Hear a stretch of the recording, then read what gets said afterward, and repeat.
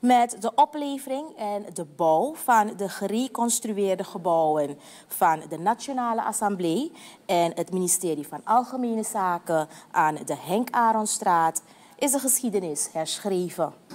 De gebouwen zijn in 1996 volledig afgebrand.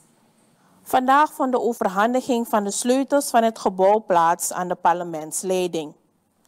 Assembleevoorzitter Marinus B.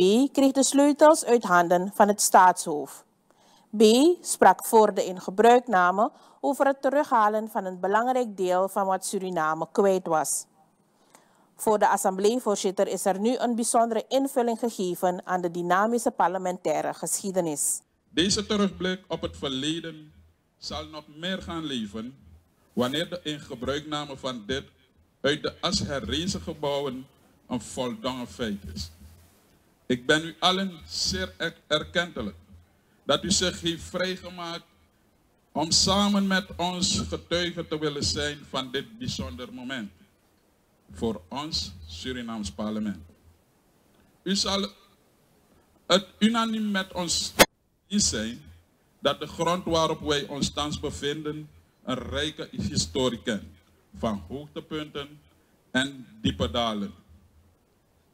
Ik noem u 1 augustus 1996, een van de diep, die diepe dalen, waarbij het trieste bericht ons bereikte dat het prachtige statengebouw van de Republiek Suriname, een van de meest markante monumentale gebouwen uit onze geschiedenis, in lichterlaaien stond en tot de grond toen afbrandde.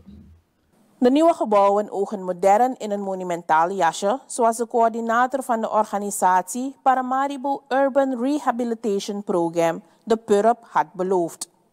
President Santoki zei voor de symbolische overhandiging van de sleutels dat hij ingenomen is met de architectuur en het feit dat er invulling is gegeven aan een historisch moment. Natuurlijk, de aannemers, al de arbeiders die hier gewerkt hebben, laten we hen niet vergeten dat ze hier gewerkt hebben. Ja, je mag een applaus geven, ja. Want als iemand